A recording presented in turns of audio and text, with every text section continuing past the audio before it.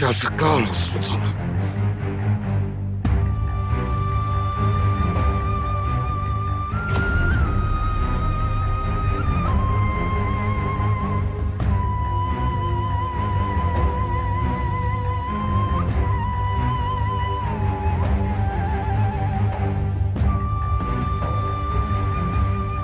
Rezilliği gördünüz sonunda değil mi?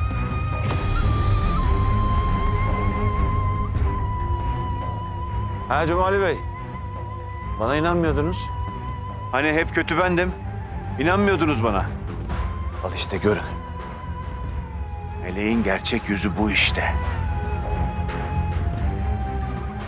Yazıklar olsun.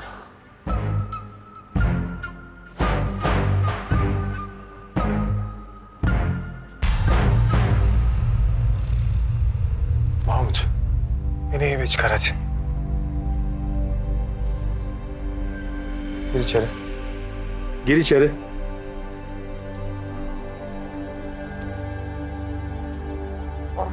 Tamam. Bırak beni.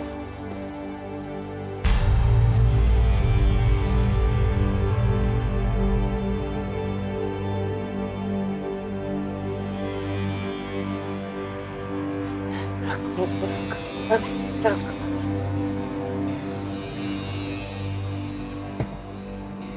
Bırak Tamam hadi gir içeri gir.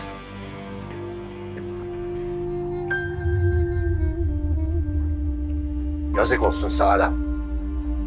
Arsızlığı, yüzsüzlüğü iyice ele alıksın ha. Baba yeter. Ben de dedim yeter diye ama kulağınıza gitmedi. Ne bu rezilliğin adı ha? Rezillik senin gözündeki nefret.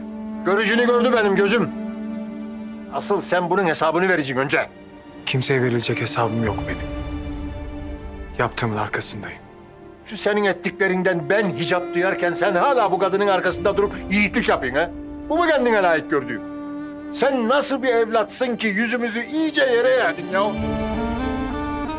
Bu bilip bilmeden konuşmalarından, yargılarından usandım artık. Ya etme dedikçe kendini daha da dibe batırıyorsun. Beni değil baba, kendini rezil ettin sen. Gözün kör oluk senin. Aciz gibi güçüne kalırsın ha bu arsızların yolunda. Yetmedi mi bu kadının sana ettiği? Hayatın onun yüzünden zindan olmadı mı?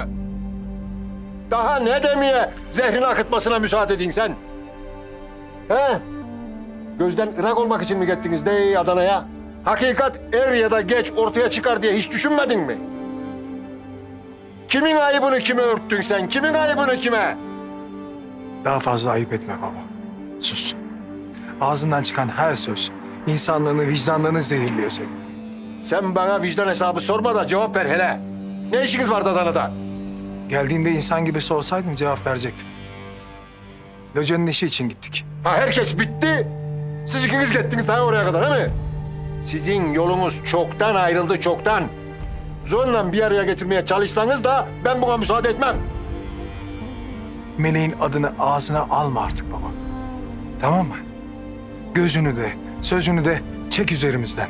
Babanım ben senin baban. Benim böyle bir babam yok.